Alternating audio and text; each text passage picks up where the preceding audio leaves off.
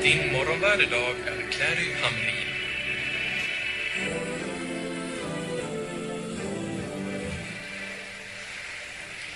Och nattmörkret hänger fortfarande utanför fönstren. Det är blött, det är luddigt och det känns inte alls som Erik Axel Karlfeldt basunerade ut att den stolta vår är utsprungen.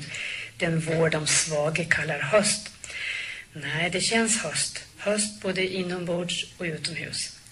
Och vad annat ska det väl kännas när det är den 25 september. Signild, Sanfrid och Signhild har namnsdag idag. Klockan är sex och vi ska få dagens första lokala nyhetssändning.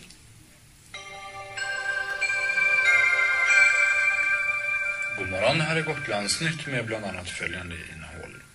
De politiska partierna börjar nu förbereda nästa års lokala val och personförändringar är att vänta i toppen.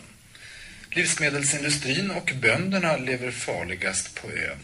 Sist som vanligt en väderprognos som ser lika mörk ut som det är utomhus just nu. Regn och mulet väder är att vänta idag på ön.